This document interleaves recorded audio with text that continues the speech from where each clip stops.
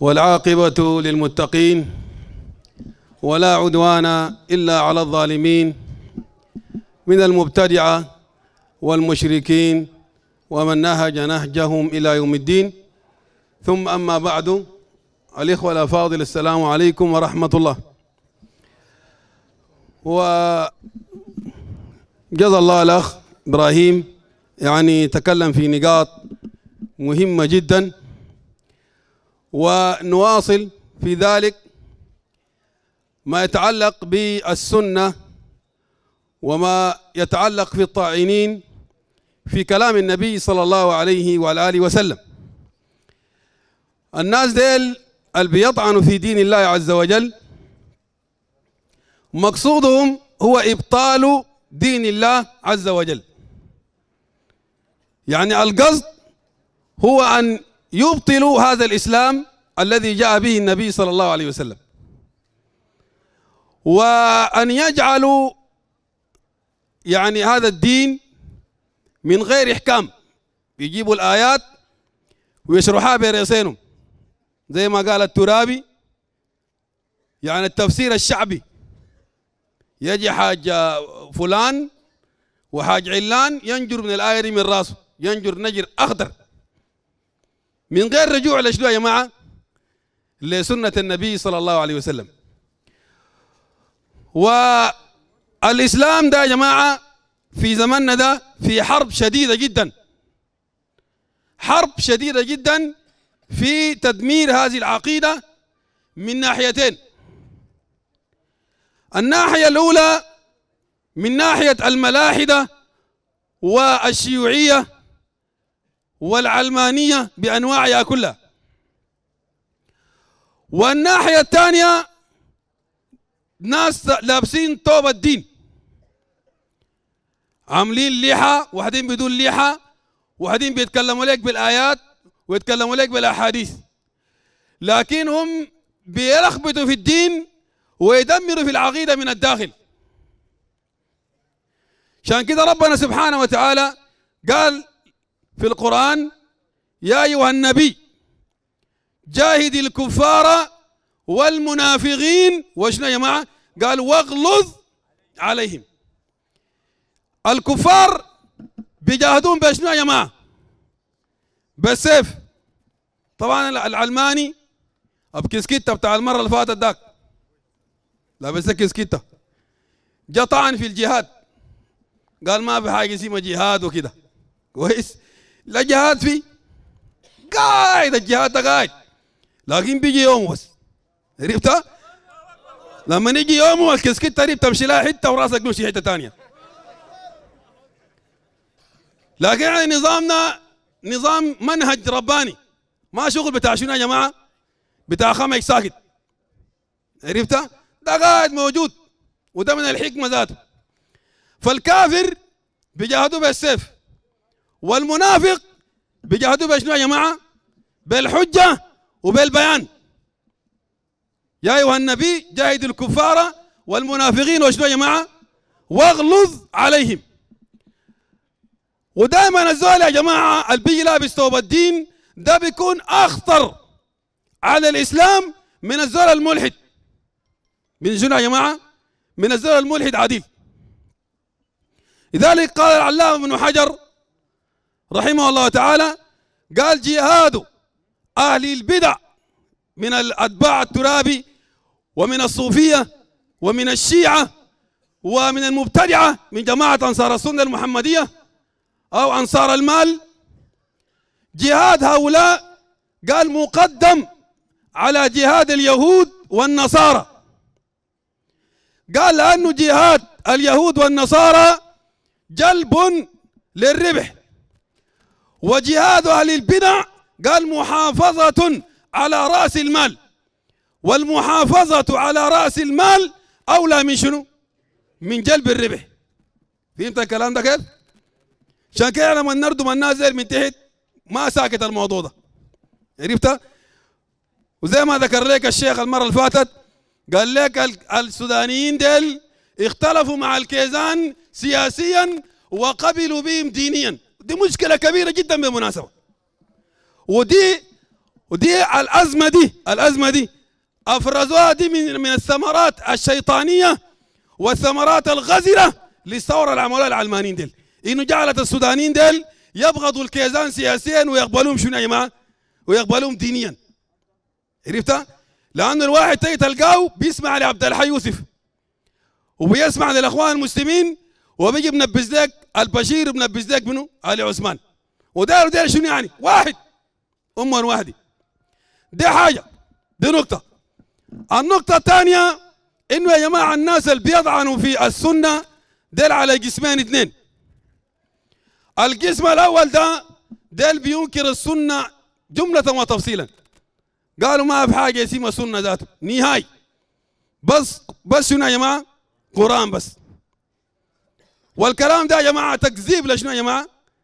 الكلام ده تكذيب للقرآن ذاته. الزال بيقول لك لا بس أنا قرآن ما داير سنة أول حاجة يا طالب أفهمها. الزول ده كذاب.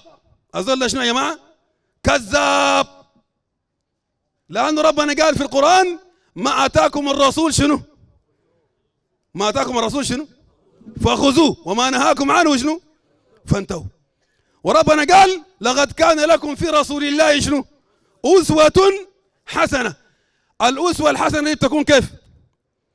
بالمتابعة بمتابعة النبي صلى الله عليه وسلم. وربنا حذرنا من مخالفة طريق النبي صلى الله عليه وسلم.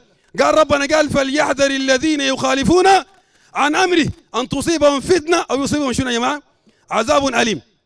وربنا قال في آية أخرى قال فإن تنازعتم في شيء فردوا شنو؟ إلى الله. الرد إلى الله هو شنو يا جماعة؟ هو الرد إلى القرآن. فإن تنازعتم في شيء فردوا إلى الله وشنو؟ والرسول. الرد إلى الرسول هو الرد إلى شنو يا جماعة؟ إلى السنة. فالزول بيقول لا بس قرآن ما دارين السنة ده كذاب. وده بيكذب شنو يا جماعة؟ ده بيكذب كلام الله. واللي بيكذب كلام الله ده لا أخذ بكلام الله ولا أخذ شنو يا جماعة؟ بكلام رسول الله. ده نوعية. والشيخ إبراهيم ذكر لك إنه الناس ديل اللي إحنا بنرد عليهم بشنو يا جماعة. نقول لك تبي تصلي؟ الصلاة ده في في صلاة ولا ما في صلاة؟ في صلاة. تتوضأ كيف؟ جيب لي الوضوء ده كامل من القرآن؟ خلي ده. هسه لو داير يخش الإسلام داير يخش الإسلام. جيب لي آية فيها لا إله إلا الله محمد رسول الله كاملة كده. في القرآن في في السنة قاعدة. بني الإسلام شنو؟ على خمس. شهادة شنو يا جماعة؟ أن لا إله إلا الله وأن محمد شنو؟ رسول الله. عشان تعرف إنه ما ما ما ممكن تستغني. والسنة دي يا جماعة السنة دي شارحة شنو يا جماعة؟ السنة شارحة لكلام الله عز وجل. شارحة شنو؟ لكلام الله. والنوع الأول ده النوع اللي بيقول لك سنة ما في ده موضوع ما موضوع خطير جدا. كويس؟ وده في واحد اسمه أبو قنايه اسمه شنو يا جماعة؟ اسمه أبو قنايه جاء مرة هناك جانا في مبدأ هناك زمان في درس كتاب التوحيد. شيخ مزمل جانا ناطي هناك. ردم ردم لما نتكيف. كويس معك قال بس قرآن. لا قال السنة دي لأنه قال كتبت بعد الزمن قول كتبت بعد الزمن ربنا في القرآن قال حافظة.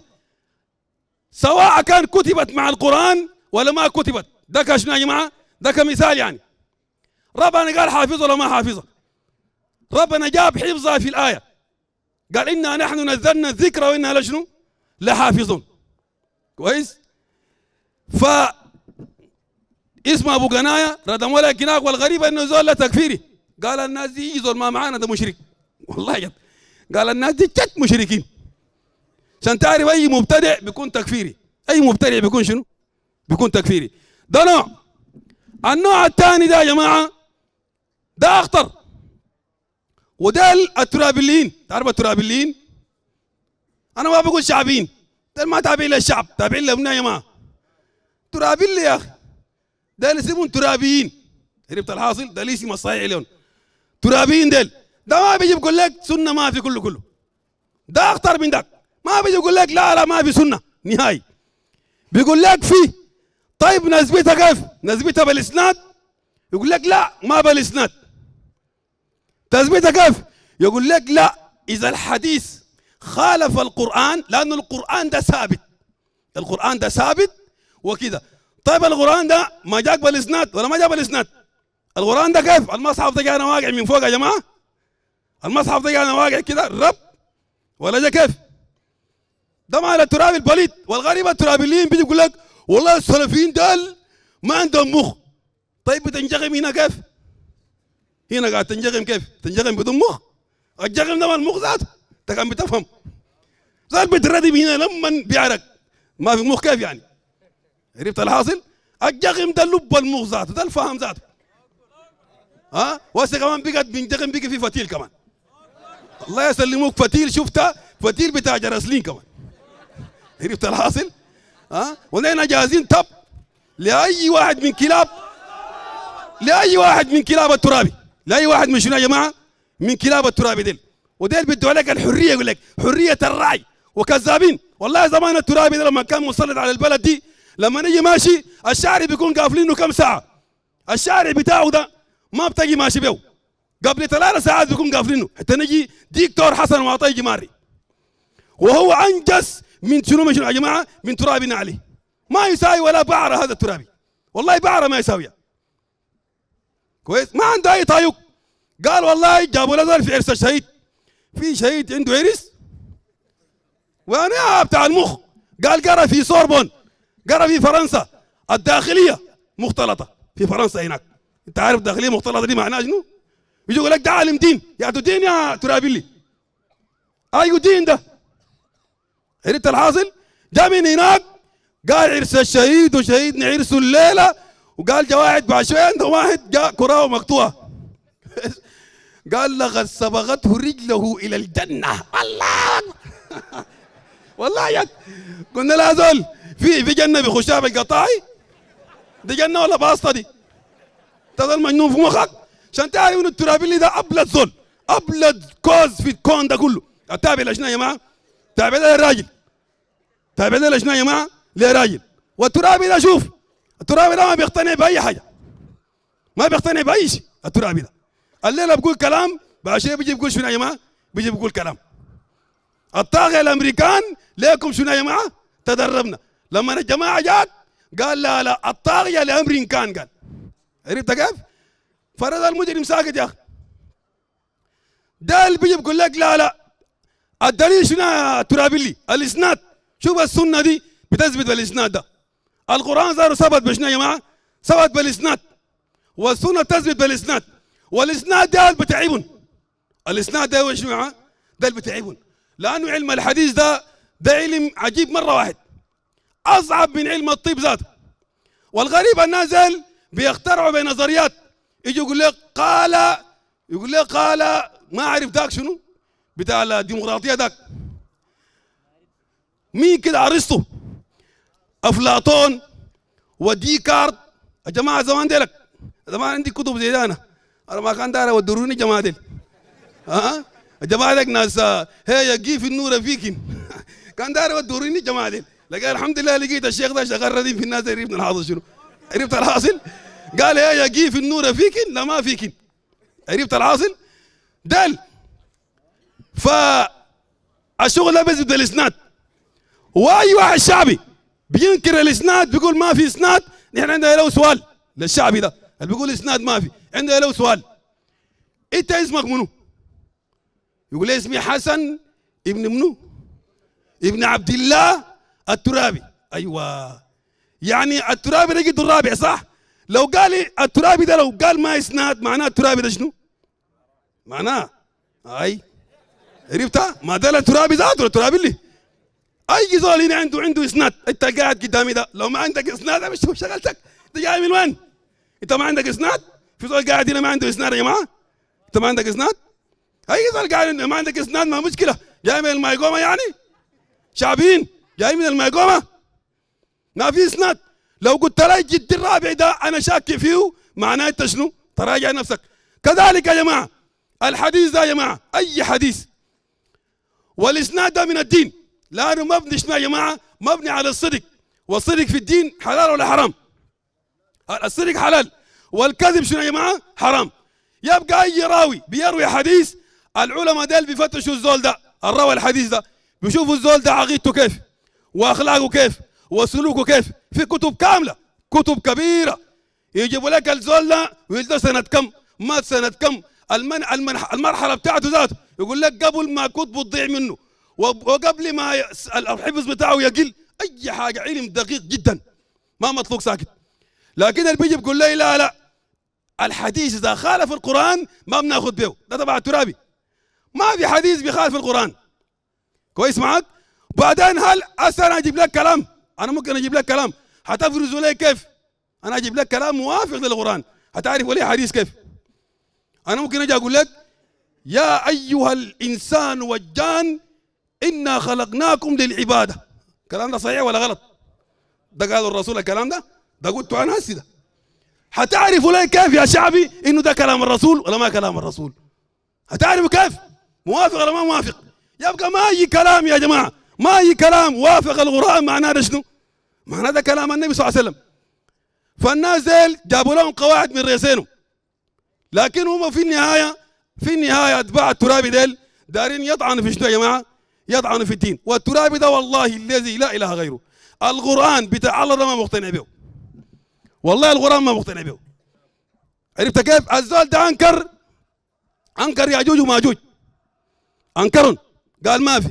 وأنكر الدابة. الدابة دي في القرآن ما في القرآن. أنكر الدابة. وأنكر ياجوج وماجوج و كويس معاك؟ حاجات ثابتة في القرآن.